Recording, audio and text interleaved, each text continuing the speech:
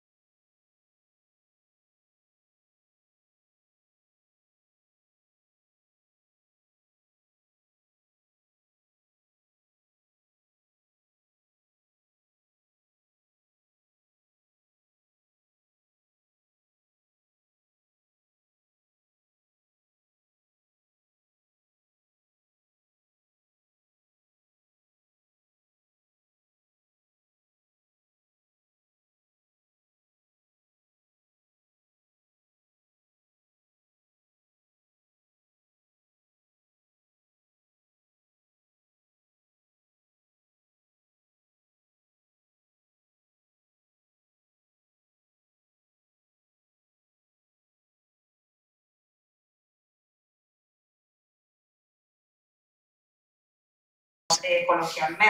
Sí que es verdad que muchas de esas posiciones están sin cubrir. Y hablo desde el lado de la empresa. Sí, pero es que vemos muchas ofertas, pero es que piden 3, 4, 5, 7 años de experiencia. Hay muchos empleos, pero seguimos sin llegar a lo que es la media europea. En Europa se están ofertando muchos trabajos y muchos desarrolladores de aquí se van a trabajar en otros países. Y eso es así. Es verdad que el sector tecnológico es uno de los más crecientes en relación a los otros sectores pero también es verdad que hay candidatos muy quemados hoy en día. En el sector tecnológico a lo mejor pasamos por 17 entrevistas, a lo mejor para cuatro procesos, y eso muchas veces agota. Esta imagen, más bien vídeo, no sé si os sonará un poco, ¿vale? Pero, pero es así, es así. Hoy en día se está pidiendo todo esto, eh, pues necesitamos que sepas ser un full stack, pero que además hagas eh, también fotocopias, ¿vale? Y sirvas cafés. Bueno, pues esto hoy en día sucede. Pero ¿por qué? ¿Por qué sucede? ¿no? Bueno, yo obviamente voy a hacer un poco de abogada del diablo y no desde mal sentido, sino explicaros un poco cómo podemos aprovechar el por qué sucede. Bueno, las causas yo las resumo en tres. En primer lugar, eh, hablamos de competitividad. Las empresas, como he dicho, están en una constante carrera por mantenerse actualizadas. ¿Y esto qué significa? Que necesitan estar constantemente renovarse para poder competir efectivamente con sus competidores. Por tanto, que necesitan lo mejor. ¿Y qué es lo mejor a veces? Pues bueno, cuanto más sepas, mejor. Y de ahí esas exigencias. En segundo lugar, presupuestarias. Al final hay empresas que es verdad que son grandes empresas, muy grandes, pero todas se rigen por lo mismo, tienen un límite presupuestario.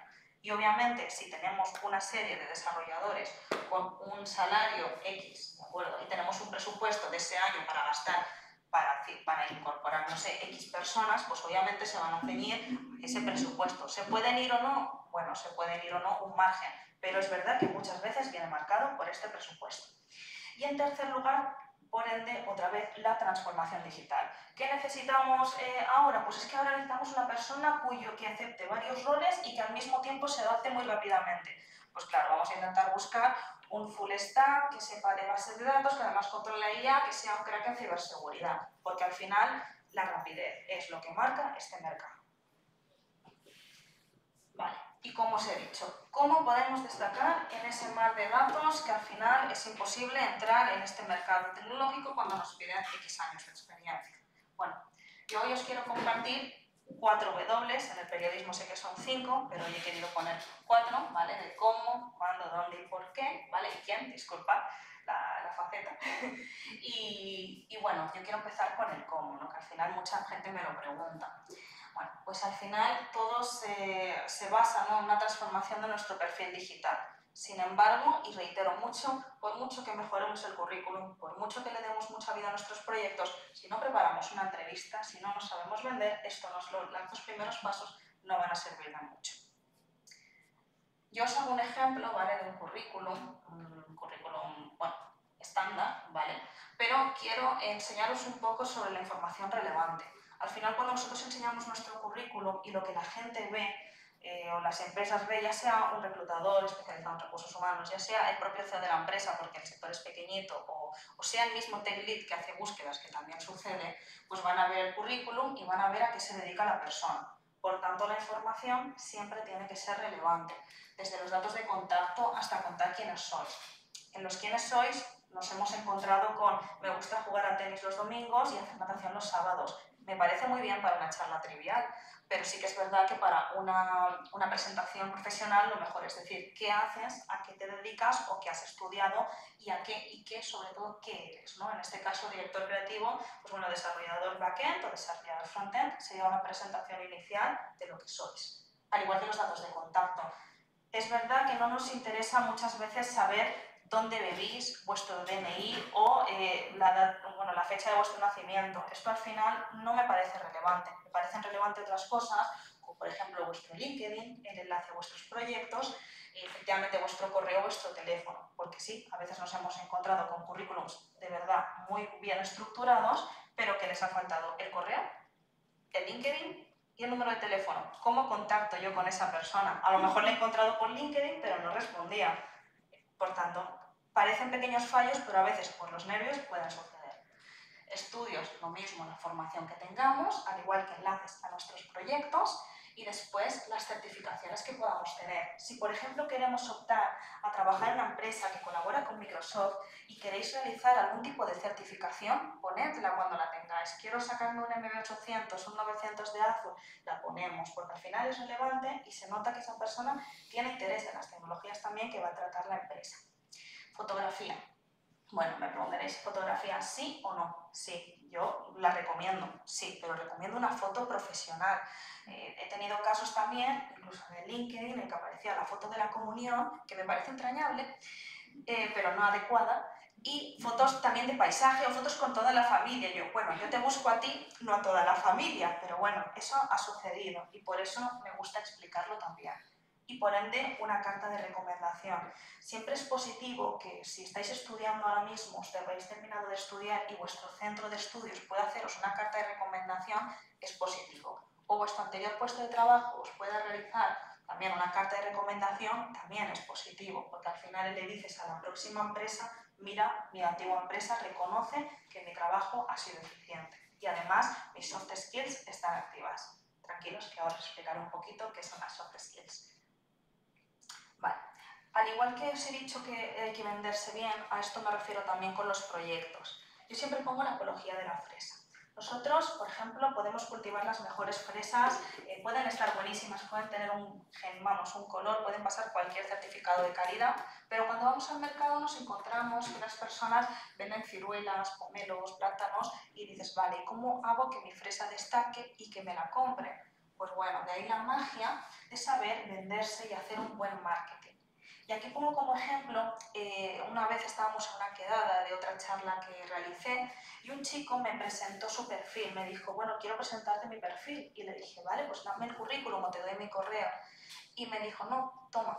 Y me dio una tarjetita, disculpad, me dio una tarjetita con un QR con un QR que hice una, una foto, me redirigía a su página web y automáticamente se desplegaban los proyectos en los que había trabajado, link a su, obviamente a su currículum, a su, a su LinkedIn, y me pareció una manera original. No digo que todo el mundo nos pongamos a tallar madera y a, y a presentar una tarjeta, pero sí que pensemos cosas originales o que nos hagan destacar. Eso también es muy positivo. Bueno, eh, por... Uy, esto no va. Vale, la preparación de entrevista. Bueno, os comento. La preparación de entrevista, mm, de estas tres fases que he dicho, yo creo que es la más importante. ¿Por qué? Porque muchas veces, al querer tener nuestro primer contacto laboral, y más en el desarrollo de software, puede que tengamos ciertos nervios, ¿vale? ¿Qué ocurre con estos nervios? Pues que digo, bueno, voy a tirar a todo y, y ya me llamarán. No, quiero decir, si queréis hacer una búsqueda efectiva y que por ende tengáis una buena primera experiencia laboral, Buscad la manera de investigar. Siempre es importante realizar una investigación previa de lo que hace la empresa. Y al final, buscar un trabajo o cambiar de proyecto también es un trabajo. Y siempre lo digo, es el trabajo de buscar un trabajo. Y es así, hay que dedicarle unas horas, al igual que realizas un código y tienes que ver que esté bien estructurado y que sea un código limpio. Lo mismo para esto. ¿Vale? Hacer una investigación, ver a qué se dedica la empresa, ver realmente qué hacen o qué nos gustaría hacer dentro de esa empresa y entonces avanzar. ¿Y avanzar cómo? Bueno, pues en este caso la preparación técnica. Depende de la empresa, de su tamaño, de cómo se han estructurado sus procesos, tendréis un primer contacto con recursos humanos, que evaluará lo que son las soft skills, además de si tiene conocimientos técnicos, también realizará ese tipo de evaluaciones pero también tendréis supuestamente o antes o después la evaluación técnica, que puede tener, por ejemplo, una prueba, que puede tener una conversación sobre proyectos, pero siempre van a hacer una evaluación de la manera mm, más objetiva posible. ¿Qué significa esto? Pues que tenéis que decir realmente lo que domináis, porque nos hemos encontrado, y esta es mi perspectiva, con casos que en el currículum o en el LinkedIn, bueno, full stack developer con conocimiento, bueno, en fin, con todo la parafernalia y todo, que me parece muy bien, y a la hora de demostrar, vale, ¿qué proyectos has hecho con esto? No es que me vi un vídeo o hice un cursillo, pero hace dos años. Claro, al final lo que queremos es transparencia. Lo que vosotros también tenéis que denotar en las empresas es esa transparencia, porque luego podemos encontrarnos con dos casos uno, vuestra propia frustración al ver que no estáis haciendo realmente lo que queréis o veis que no llegáis y entonces viene la ansiedad. O dos, la empresa puede verlo y decir, mira, lo siento mucho, pero vemos que los conocimientos que decías tener no son así. Porque es verdad que me dicen, vale, entonces ¿para qué me seleccionas? Bueno, al final también todos somos humanos, vosotros y la parte de la empresa. Muchas veces puedes tener muy buen speech y efectivamente te contratan, pero no podemos ver efectivamente cómo trabajas en equipo en ese mismo momento de la entrevista, por muchas entrevistas que se hagan. O no podemos ver qué tan ordenador es el código, no te voy a tener gratis viendo a ver qué tal vas haciendo el código para ver que efectivamente trabajas bien, ¿de acuerdo? Y por último, las soft skills. Las soft skills son las habilidades blandas, ¿vale? Se le llama habilidades duras a las habilidades técnicas, habilidades blandas a las soft skills. ¿Qué son? Bueno, pues son aquellas habilidades que las empresas buscan más hoy en día, ¿vale? Eh, que, engloban, por así decirlo, lo que es tema de comunicación, gestión de equipo, también liderazgo, que sepas trabajar efectivamente en equipo, que sepas gestionar tu propio tiempo, estructura, todas aquellas habilidades que efectivamente nos hacen humanos, ¿vale? Y que trabajarlas es clave también para posteriormente hacer una cohesión entre las habilidades duras y las habilidades blandas.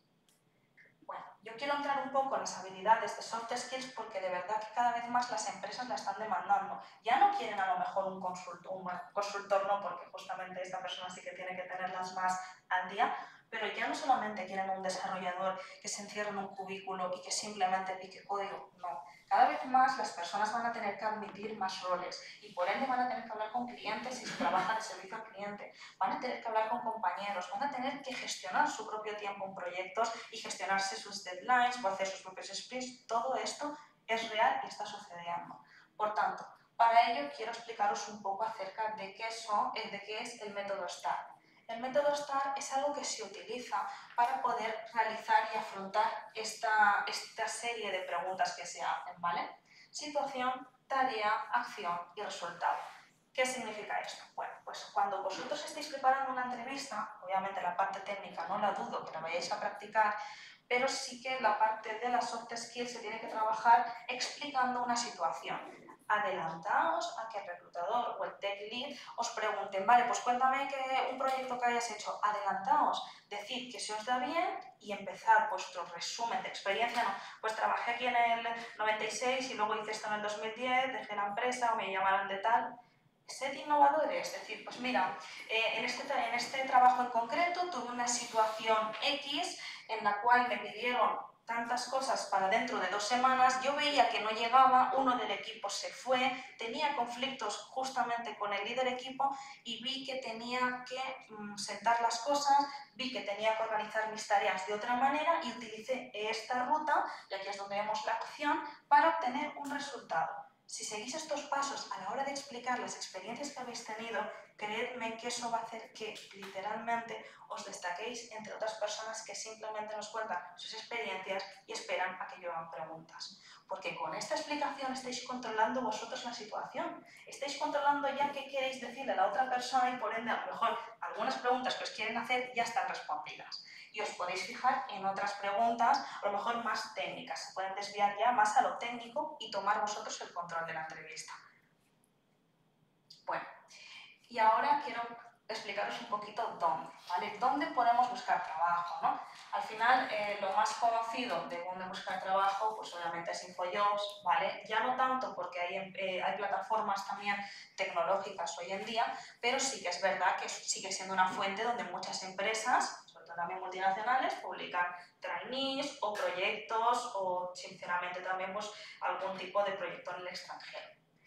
LinkedIn. LinkedIn es una plataforma que si no la tenéis, eh, utilizadla porque es bastante, pues, bastante buena para poder buscar trabajo, contactar con empresas y tener un perfil actualizado en LinkedIn, pues obviamente también es muy fundamental para poder realizar bueno, pues esta serie de, de búsquedas y trading con las empresas, porque al final un LinkedIn vacío o que no tiene proyectos subidos o que no tiene enlaces, pues al final no dice tanto como puede llegar a decir un currículo que está mucho más completo. Obviamente tenemos otras plataformas y más para la gente que está buscando trabajos en remoto. Y aquí pongo Telegram porque existen muchos canales que hoy en día están presentando muchas ofertas en remoto y hace directamente que te llegue lo que vosotros queréis y eso se puede automatizar fácilmente con un bot que os voy a contar que no sepáis. Y bueno, eh, de verdad que se están presentando muchas ofertas a través de estas plataformas, pues si queréis apuntarlas, porque bueno, pues están siendo incluso para trainees o incluso para juniors con poca experiencia. Me espero a que, pase, a que hagáis fotos. Vale. te lo paso después, no te preocupes. Bueno, y dónde nos podemos mantener actualizados, ¿no? Al final la plataforma por ende es YouTube. Yo, bueno, yo me he estado viendo vídeos y obviamente no de convierte tu full stack en 10 semanas, no, o sea, sabemos que eso es imposible, pero sí para repasar muchos conceptos y bueno, vosotros más que nadie sabréis un montón de plataformas que existen para mantenernos actualizados. Obviamente también magazines, a quien le guste leer, a mí por lo menos me gustan mucho plataformas como Inveta o Trataka o incluso Discord, donde tenemos canales y comunidades que nos hacen mantenernos actualizados. Pero también destaco aquí la importancia de los eventos físicos. ¿Por qué? Y en particular me hace mucha gracia el Morejote, ¿vale? porque me parece muy original. Es un evento que se realizó hace poco en, en Andalucía, en Córdoba, ¿vale? donde este evento fue patrocinado por empresas grandes. Y hablo pues aquí abiertamente, Entity Data, Admira, Microsoft también hizo patrocinio de alguno de estos eventos. ¿Qué ocurre? Pues que cuando hay eventos tecnológicos, las empresas, ya sea TechLead, ya sea propios desarrolladores, jefes de equipo, incluso recruiters, van a estos eventos. Y ya no solamente para ver a los ponentes, sino también para hacer ese tipo de relaciones con otro tipo de candidatos que estén buscando nuevos proyectos. Y esto es importante porque al final nos da la oportunidad de conocer, pero también de darnos a conocer. Y es de ahí la importancia de estos eventos, ¿vale? Y bueno, por último, cuando, bueno, por último, lo menos importante, sé que me está apurando el tiempo, no quiero quitaros tampoco tiempo de preguntas, ¿Cuándo? ¿Cuándo vamos a encontrar trabajo? ¿no? Y eso me lo preguntan mucho. Es que ahora llevo ya meses buscando un nuevo proyecto y me, me, contactan, pero no me contacta la gente que yo quiero o no me contactan de la, de la oferta que yo necesito. Bueno, al final tenemos que saber que estamos marcados hoy en día, y más esta generación, y generación me refiero a época, ¿vale? Etapa, en la cual eh, vivimos arraigados por la inmediatez. Yo voy de regreso a mi casa, me apetece cenar algo, no quiero cocinar, cojo ya estoy, abro y en cinco minutos tengo un hueco en mi casa. Necesito cambiar mis emociones, estoy triste, quiero reírme, abro TikTok o abro Instagram, jaja, un meme. Y ya está, todo va reñido por la inmediatez. Y esto no es así. Eh, los procesos, sí, claramente. Hay empresas que alargan mucho los procesos y dices, bueno, ya va siendo hora, o no me han dicho, por lo menos me han hecho un ghosting. Sí, pero también tenemos que ser conscientes de que esta situación de cuando nos crea frustración. Y es verdad, esta búsqueda de empleo para todos los sectores en general crea mucha frustración. Y es por ello que yo, por ejemplo, y voy a hacer la analogía del running porque me gusta mucho, eh, veo esta búsqueda de empleo o cada proceso que yo tengo que hacer como una carrera constante cuando, sí soy yo, cuando eh, realizamos una carrera, normalmente sabemos que detrás de nosotros, delante de nosotros y a la par, tenemos otros competidores. Sabemos que esa persona que va por delante ha corrido más, tiene más agilidad, tiene más fuerza, pero también tenemos que ser conscientes de algo, y es que nosotros tenemos nuestro propio objetivo, que es cumplir lo que tenemos que correr, que sea sean 10, 20, 30 kilómetros, sabemos que tenemos un objetivo no tenemos que fijarnos tanto en el alrededor, sino más bien en una lucha contra nosotros mismos. Y eso a veces es lo más duro. Por eso yo siempre digo que cada paso que deis, cada pequeño esfuerzo, me han llamado, me han llegado a contactar, me han pasado primera entrevista, segunda, he quedado finalista, celebradlo, porque de verdad que se reciben muchas empresas 500, 1000, 1500 currículums y muchas veces no se ven todos. Yo particularmente me he llegado a leer a lo mejor cientos y cientos para ver efectivamente que los filtros no siempre son perfectos. Pero también, por ende, celebrarlo, porque cada paso efectivamente os acerca más a la meta y efectivamente cada esfuerzo os va a hacer más fuertes. Y eso es así, siempre se puede seguir aprendiendo. Y por último, y ya con esto voy terminando, ¿quién? ¿no? ¿Quiénes son las personas que va a hacer que nos den ese empujón, ¿no? ¿Quiénes son las personas que finalmente pueden hacer que este proceso sea tan, tan sencillo, ¿no? Bueno, eh, esto es un plot twist, ¿vale? Sois vosotros. Efectivamente, como os he dicho por la primera, bueno, las primeras fases de la, de la ponencia, vosotros sois las personas que tenéis la capacidad en el presente de, efectivamente, codificar el presente. Por tanto, tendréis la capacidad vosotros también de transformar el futuro. Y con esto, y ya termino, os quiero explicar el por qué he utilizado esta interfaz. Hemos hablado del buen marketing y hemos hablado de que al final hay que venderse. Netflix, con la apariencia que tiene, no la ha cambiado, ha cambiado pequeñas cosas, pero siempre ha seguido su línea, para que sea atractiva, para que sea dinámica y para que todo os haga sentir cómodos. Lo que quería conseguir yo con esta presentación es que os quedéis con mis palabras, no os quedéis tanto con el texto, ¿vale? Para que sea dinámico y cómodo para vosotros. Y de ahí, de nuevo, el buen marketing. Y ahora sí que sí, muchas gracias por, por escucharme hoy y ahora efectivamente os toca a vosotros.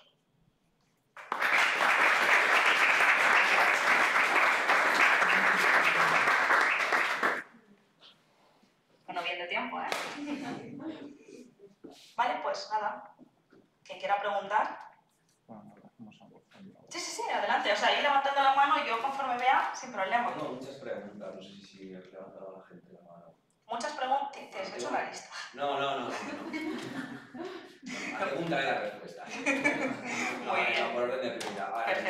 Hablado antes de de cientos de currículums. Sí. Eh, ¿Cómo filtráis?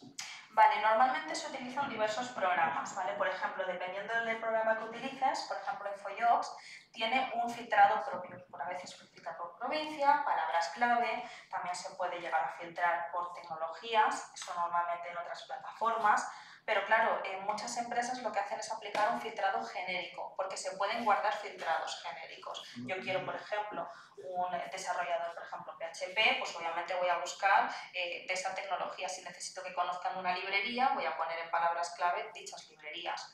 LinkedIn, LinkedIn también tiene su propio algoritmo. Al final nosotros lo que realizamos es una búsqueda normalmente, y por eso os he dicho de que vuestro nombre o vuestro... Eh, vuestra descripción sea conforme a lo que estéis buscando, porque los filtros muchas veces buscan directamente y de manera automática lo que hayáis puesto en vuestra descripción de lo que sois. Por eso soy tan reiterativa con las palabras clave que ponéis tanto en vuestro currículum como en las plataformas de empleo. La segunda. ¿Leéis las Kubernetes? ¿Perdona? ¿Leéis las Kubernetes? Yo sí. Yo principal, a ver, yo no puedo hablar por toda la comunidad de reclutadores, pero sí que sé las personas que lo hacen y por las personas que lo hacen sí que lo defiendo. Se leen no solamente las cover letters, sino que también realizan una búsqueda y un miramiento de los proyectos. Yo me he llegado a ver proyectos, ver el código, pero porque me interesa, porque estoy dentro de, por así decirlo, un poco del sector, y ver a Tech posteriormente y comentar con él, pues mira, aquí me ha gustado esto, me ha gustado lo otro. Pregúntale durante la entrevista sobre esto para ver si efectivamente lo ha hecho él o ha dicho, hola ChatGPT, ayúdame. Vale, pero ¿en qué momento la leéis? ¿En el momento de después del filtrados cuando las leéis? Después del filtrado es cuando las leemos. ¿Tiene peso en vuestras decisiones? Tiene peso en nuestras decisiones y dependiendo de cada proyecto. Por ejemplo, para las, para las posiciones senior tiene mucho peso. Vale, entiendo. Vale, la siguiente. Eh, ¿Para qué queréis? Sobre el, He dicho que se recomienda la foto, no hace falta realmente, pero si tú quieres ponerla, yo normalmente sí que la recomiendo, ojo, siempre que sea una foto profesional, quiero decir, a mí si me viene un currículum sin foto, no me importa, ya te veré en Teams o ya te veré presencialmente si algún día nos cruzamos. No, y la última ya, eh, disculpadme. No, para nada. ¿El teléfono para qué? Quiero decir, eh, habiendo Vale. medios síncronos para comunicarse. A mí personalmente me da mucha rabia que me agobien a bocajarro por teléfono. Por teléfono, y ¿verdad? quieran hacer una, una entrevista en puerta fría. Vale. Vale. Claro, las normalmente Entonces, las puertas... yo el teléfono intento no Ah, no, para eso, nada. Eso me, des- eso me Para nada. Con que tengas un medio de contacto, por lo menos un correo electrónico, ya ves tú, un correo pues te llega, si no lo marcas en spam y ya está. Pero sí que es verdad, os he dicho que hay que poner algún dato de contacto porque necesitaré contactar contigo. Si tú me envías tu currículum por correo, ya sé que te tengo que contestar ese correo. Pero sí que es verdad que es lo que eh, como buena praxis corresponde. Si no quieres tu teléfono, tampoco pasa nada. Va, eso es todo. Muchas gracias. De nada. Yo iba a preguntar responder también ahí a esas preguntas. Sí. Son las más comunes, ¿eh? aunque no parezcan, son son bastante comunes. Eh, bueno, muy guay la presentación, te lo has currado visualmente, el delivery bueno, bueno, no sé, tiene mucha experiencia. Y luego iba a comentar, ¿no? La cover letter, yo, también- yo también escrito currículum, yo me la leo. Ahora, ahora todas las cover letters están hechas con ChatGPT, así que ¿para qué? Eso es así. Eh, entonces, en la letter lo que busco es, pues mira, si hay alguna negrita puesta, miro a ver algo por ahí, a ver si se lo ha currado un pelín para sacar algo, a ver si es que le- a, a lo mejor ha leído la web. Ah, pues mira, si ha leído la web, voy a intentar leerme algo. Pero vamos, yo no filtro ni, ni, ni nada. Fotos, ¿no? Por favor, nunca pongáis fotos. ¿No te gustan las No me fotos? gusta solo por una cosa, porque, porque tenemos muchos prejuicios, ¿sabes? Entonces es... Claro, es que también depende cosa- con quién te con quién te cruces y no, que de pronto te diga, ostras, ¿y esta persona qué foto tiene? No, Yo no. personalmente no. No, pero, pero no. Y, y todos nosotros cuando vemos una página que es en blanco y negro y una cosa en colores arriba a la izquierda, ¿sabes? Y es como, ay, esta persona. Y lo antes de leértelo todo, la, la, la miras y ya tienes un juicio. Sin pun. Entonces, si no eres una si no eres un chico blanco de 30 años con barba, vas a juzgar. Y si, lo, y si ves eso, vas a decir, ah, este seguro que es bueno. Claro, al final yo ya digo, a mí me es totalmente diferente que haya fotos o no. Yo siempre, pero siempre digo que en caso de que lo hagáis que sea profesional, nada más. Sí, es profesional. Claro, muy bien, porque eh, te añade pues, un poquito de eso. Que la foto de comunión no. La foto de comunión o incluso tu foto normal, ¿sabes? De, ay, pues todos tenemos nuestros, nuestros juicios. Sí. Entonces yo soy partidario que cada uno lo pongáis porque yo mismo lo veo, lo veo y digo, la china me entra como al pie, ¿sabes? Esta persona, mm, yo no sé, eh, internamente ya eh, tengo un sesgo. Sí, que tienes una primera impresión. Es una primera impresión, Visual. claro, porque todos lo tenemos. Cuando nos juntamos con alguien, pues más nos gusta más, nos gusta menos, incluso sin hablar con la persona. Y sobre el teléfono yo lo utilizo para saber, a veces no, los candidatos no ponen de dónde son, entonces cuando el teléfono ponen prefijo. Entonces, si son de Nueva Zelanda, pues no, Claro, no voy a llamar. ¿vale? Ujú. Entonces, bueno, no, no hace falta porque nadie ya utiliza el teléfono, nadie llama a nadie, pero, Vale. pero sí que para saber de qué país son, sí que, Ujú. sí que es interesante. Era una pregunta. Era una aclaración, vale, Era vale, una- perdona. No, no, no, era, yo también tenía esa Ah, que querías contestarle Y era como también. porque Ah, vale, había hecho vale. la misma y, y Sí. yo contestaba de una manera distinta. Ah, vale, no, perfecto, pues ideal, ideal. Y ya está. Muy bien, muchas gracias. Bueno, primero que todo, enhorabuena por la exposición. Gracias. Y la pregunta sería, para personas que no tengan experiencia, Ujú, ¿vale? Porque has abordado el tema de que tienes experiencia, lo coloques. ¿Qué se puede hacer para destacar en un campo tan competitivo sin tener experiencia? ¿Qué, qué llamaría la atención en un currículum? lo que yo he dicho, proyectos. Siempre va a haber personas que quieran, por ejemplo, y más conocidos, mira, si tienes alguna, eh, algún familiar que necesite una página web porque, o algún tipo de autónomo, ya sea de algún tipo de, de colegio o algún tipo de, ento- dentro de tu entorno social, pues mira, voy a hacerte la página web o mira, voy a hacerte esto y de manera... A ver, no, no se trata de gratuitamente tu trabajo, se trata también de darte una posibilidad de que puedas explicar algo en esas entrevistas. Porque cuando se hacen entrevistas para juniors o gente en prácticas, de verdad que cada vez hay mucho más filtrado y prácticas pues nos llegan muchas veces, en mi caso, de todos los centros de Valencia, y como lo operamos a nivel nacional también de toda España. Acoge este alumno en, prácticas y es que tenemos que hacer un filtrado, porque si tengo 30 plazas para 30, posi- eh, para 30 eh, digamos, 15 desarrolladores, 15 consultores, yo tengo que hacer un filtrado. Por tanto, ¿qué es lo que va a hacer destacarte? Pues lo mismo, mira, pues si eres para desarrollador en este caso, pues este verano, durante, bueno, pues durante mi estadía, he, he hecho esto para esta persona, lo otro, y digo, me- me- si es por Teams, por ejemplo, mira, ¿me dejas que te comparta pantalla? Y te lo enseño. Oye, pues escúchame, ya estás demostrando una de las soft skills que también es iniciativa. Por tanto, yo pienso que eso te podría hacer destacar. ¿Qué? Porque tengo una, una perspectiva distinta de Paula que No, no, me parece ideal. Claro, claro, es complementaria. Sí, sí, sí. para un sector y no para otro. Entonces, tu proyecto da igual, como junior. ¿Por qué? Porque cualquiera que vea un vídeo de YouTube de 10 minutos puede hacer un proyecto igual que tú. Entonces, como solo que eres junior, realmente sabes lo que sabes. Eh, Con tus estudios, más o menos, se va a ver un poco. Entonces, ¿qué es lo que sí se puede destacar? Eh, ¿En qué eres buena? Porque obviamente, cualificando, no eres buena porque no tienes experiencia, pero eres buena en otras cosas distintas. ¿Sabes? A lo mejor tenido un negocio antes, esto dices, oye, yo tenía un negocio, y entonces a la persona que lo lee dice, ostras, pues mira, esa persona ha cultivado eh, sus habilidades en otros campos que no son este, y lo puede traer, nos puede traer algo que no es experiencia de programación, pero desde otro punto de vista. ¿no? Entonces, otra, otra manera. No, y además, no, y contra respondiéndote lo que dices, coincido contigo en el tema de también demostrar otras cosas, que al final todo azúcar hace más dulce, eso es así. Eh, ambas partes, quiero decir, ambas partes tienen que cultivar. Los proyectos da igual, bueno, depende de cómo lo veas. Es verdad que hay, hay personas, porque tú has dicho que hay prejuicios, y efectivamente los hay, eh, hay eh, technical leads que a lo mejor les interesa mucho ver los otros proyectos, y es así, y es gente a lo mejor con un porrón de experiencia que le interesa ver que otra persona tenga iniciativa. Sí, ambas partes, y es verdad, lo que él ha dicho son las soft skills que les he dado mucha importancia. Por tanto, une ambas cosas. Mi, mi perspectiva es que unas ambas. Por mucho que, ya te he dicho, una empresa a lo mejor no hay importancia, pero la otra sí. Al final estamos hablando de un colectivo muy amplio.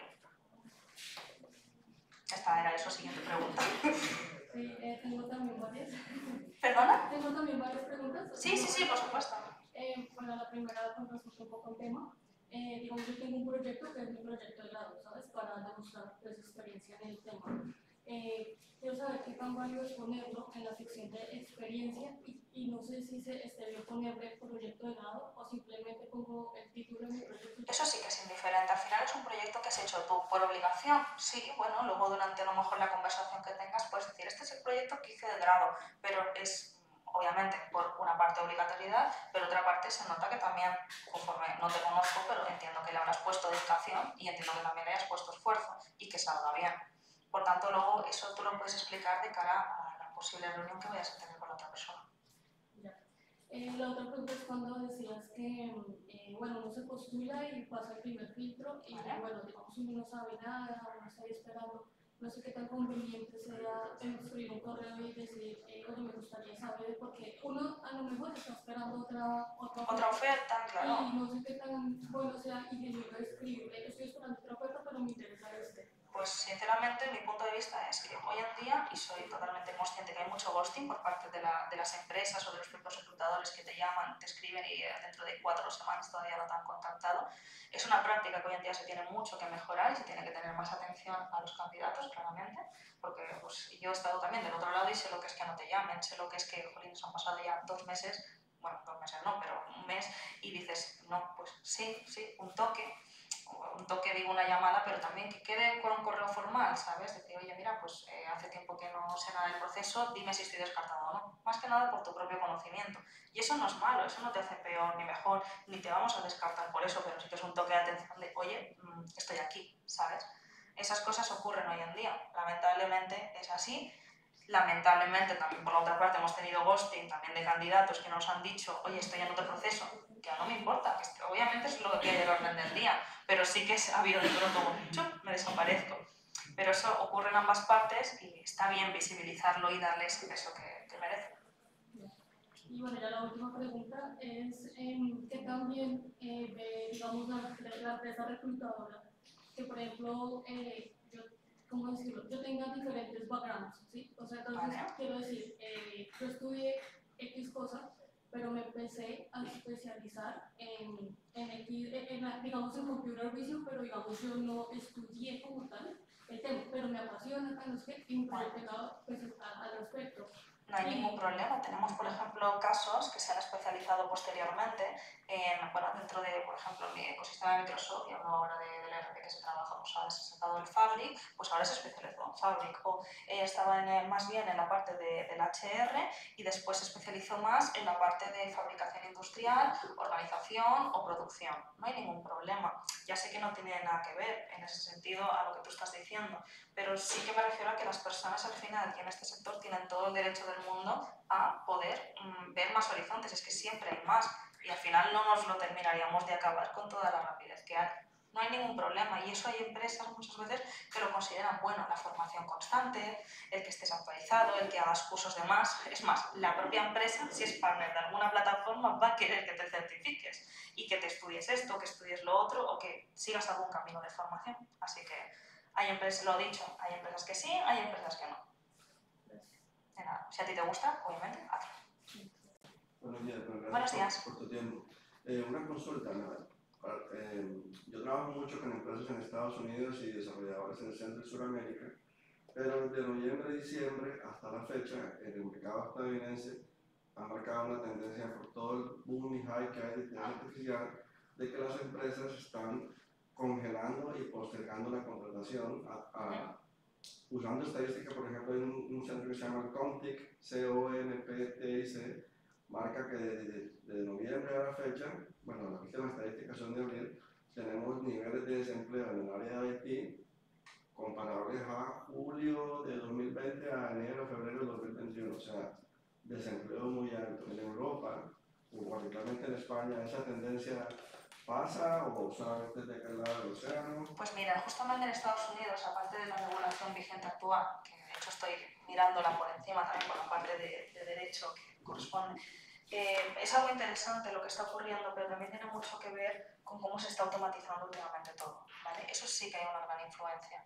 Sin embargo, si quieres posteriormente, me das tu correo, déjame que lo investigue más a fondo para poder dar una respuesta mucho más concreta, ¿vale? Y si quieres lo debatimos, porque sí que es un tema muy interesante. Si él te puede dar respuesta, maravilloso, ya se lo escucho No, también. no, no sé, yo te doy mi respuesta. Que sí que está pasando aquí, o sea, están los sueldos Ah, no, y esperados, esto, correcto. vamos, y- Oye, yo así me contrata. Bueno, consultas Sí, pero lo mismo contratación, pero claro, contratación que segmento. Si tú eres, en desarrollo. ya, pero en, en desarrollo, pues si tú tienes 15 años de experiencia, tú no vas a tener ningún problema en ser contratado. Eso sí, si acabas de salir de un bootcamp, Ah, hay sí. 100.000 juniors que saben JavaScript y hacer una, una web pequeñita. Sí, sí, sí. Ahí está, está- estamos inundados de, de eso, de Bueno, cosas más difíciles. A- Aún en mi experiencia, eh, esos casos tus 15 años de experiencia senior architect, O menos, 10, yo qué sé, ni sabes. eh, hay un... Eh, Permitidme que aquí haga un... Sí, que voy a hacer un paréntesis con esto de que has dicho justamente en es- eh, aquí en España. Sí que es verdad que los salarios están congelados. O sea, aquí en España, en relación, hemos tenido muchos... Bueno, he visto muchos desarrolladores que han dicho, no, me voy a trabajar con una empresa de Bélgica, por ejemplo, porque me doblan el sueldo. Claramente, pues van a querer que sepas idiomas, hay que reforzar también esa parte, ¿vale? Pero sí que es verdad que está ocurriendo. Europa está ofreciendo actualmente salarios muy altos, pero también es verdad que si tú te mudas allí, el costo de vida también va a ser muy alto y eso es una realidad. Que puedes tener la oportunidad de trabajar allí y vivir aquí y cotizar aquí, y bueno, cotizar aquí no, y pagar aquí, bueno, sí, puede ocurrir. Pero sí que es verdad que hoy en día la realidad es la que es, que es muchas empresas no pueden competir con el mercado europeo que está ofreciendo otro tipo de salarios. Y por eso vemos muchas ofertas que efectivamente pueden estar por debajo del rango salarial que a lo mejor hemos podido leer en cualquier día. Eso es una realidad. Gracias. De nada. Pero bueno, lo del correo sí que a ser Sí, sí. posteriormente lo podemos debatir. ¿Alguna pregunta más? Silveri, ¿tú no me querías acribillar preguntas? No. Bien, te has portado bien. Muy bien, pues nada, si no tenéis más preguntas. Sí, Celia, dime. Yo tengo una respecto a eh, épocas de contratación, por ejemplo, ahora llega el verano. Es una época buena. Bajísima. A ver, ten en cuenta que en verano la gente se coge vacaciones. Dos semanas, tres semanas, la gente desaparece. Lo malo ahora que ha habido es con las nuevas FP duales, la gente que haya estudiado y que quiere buscar prácticas, es que con este cambio de legislación, literalmente la gente que se encuentra en una transición entre primero y segundo, como FP, hago, hago un ejemplo, pues automáticamente la han destrozado un poco a nivel de cómo se organiza. ¿Qué pasa? Pues bueno, en verano efectivamente baja la contratación y se suele contratar normalmente a partir de agosto para poder contactar y cerrar en septiembre y de cara a un nuevo año normalmente se empieza en febrero. Por lo menos yo lo que estoy hablando es del ciclo que yo conozco, ¿vale? Hay de todo. ¿Por qué? Porque, por ejemplo, si tú vas a una consultora, a una que es partner de algún tipo de tal, normalmente los arranques suelen producirse en enero y en septiembre, normalmente, ¿vale? Claro, si tú entras en, a lo mejor en no, octubre, bueno, pues te entra para el próximo arranque, que a lo mejor no participarás tanto. Cuanto más gente se contrata, suele ser eso, agosto, se empieza a hacer las primeras contrataciones y tal, para cerrar a lo mejor septiembre-octubre. Y en lo que es el siguiente año, normalmente en febrero, para estar contratando durante esa línea de febrero, marzo, abril. Por si te sirve de... Para la cantidad de... Hombre, en diciembre viene Navidad, vienen vacaciones, mucha gente no se quiere mover si cambias de, si vas a cambiar de proyecto porque ya tienen vacaciones cerradas, es Navidad, quiero decir, no, no suele ser lo habitual, ¿eh? Y vienen vacaciones, de, de la gente también que se va de vacaciones. Vale. Pues si ya es todo, no hay ninguna pregunta más. Vale, genial, pues muchas gracias a todos.